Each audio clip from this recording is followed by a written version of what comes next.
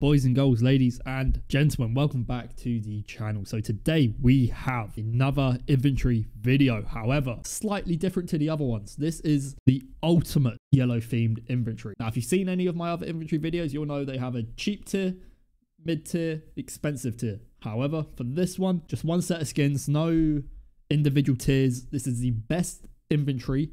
So the best skins for one solid inventory. Now, the prices for these skins have been taken from DMarket because, as always, it's just a site I use personally. Not sponsored, but uh, link in the description. Please sponsor me, love you. Mwah. Obviously, you might be able to find the prices cheaper somewhere else. It might even some of them might even be cheaper on the actual Steam site or Steam Market, which is very unlikely, but it's possible. So starting off with the pistols, we have the Glock 18 Brass in minimal weight, which is 23 pounds. Now, some of these skins are very expensive. Some are very cheap. Some are medium. It's a mixture of prices, hence the ultimate inventory. It's just the best skins for that weapon. So for the USP-S, we have the Jawbreaker in minimal wear, which is the first CS2 skin from the Kilowatt collection, which is 30 five pound and then we've got the deagle bronze deco and factory new which is 40p nice and cheap lovely everyone can afford that then we've got the berettas marina in minimal wear which is four pounds. And then we've got the P250 wing shot in factory new, which is three pounds 30.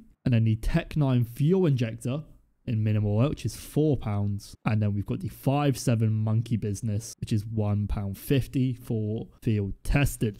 Now, you might be thinking, if it's the ultimate inventory, why is every skin not factory new? And that's because I wanted to keep it as affordable as possible. Like it's, still expensive as an entire inventory, but I wanted to, to keep it still budget friendly. Because if I go factory new everything, some skins, right, the difference between minimal wear and factory new is humongous. Like a factory new skin for some skins, I can't think of one top of my head, but could be 200 pound, let's say. Then a minimal wear one could be 30, 40 pounds. You know, big there's a big difference there. It's a couple hundred pound difference there. So, you know, we, we go for the more affordable version. And it still looks as good because it's minimal wear. Right, so moving on to the SMGs. Kicking it off with the Mac 10, we have the Stalker factory new, which is £46.80. Now, that's a lot for a Mac 10, but it does look pretty decent. And then for the MP7, we've got the Akoben in factory new as well, but it's only 30p.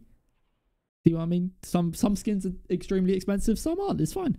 For the MP9, we have the Bulldozer and field tested, which is 50 pounds. Now, I believe I know my prices correctly. In minimal wear and factory new, the Bulldozer goes for over like 200 pounds.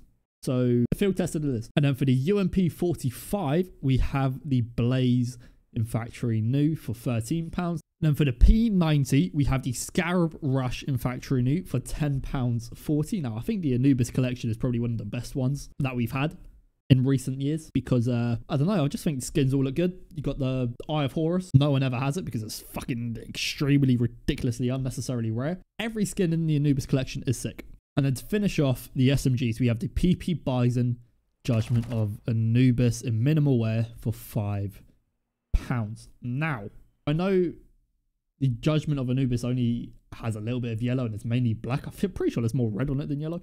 But that's just because there's no other version or option to go for. If you can find a better skin, let me know in the comments. Like just but I couldn't find anything. So moving on to the rifles. Out of all of the inventory videos I've done, probably the best looking version of rifles we have got the AK-47 fuel injector minimal wear for 175 pounds. Now again, I don't like the fuel injector, but for yellow, you have to say which one's the best, and this is unfortunately the best. And for the M4A4, we have the Buzzkill in factory new, which is 20 pounds, which kind of looks like the fuel injector if you look if you think about it just a little bit. It's a little bit different, but it look it's like it's like different but the same. You know what I'm saying?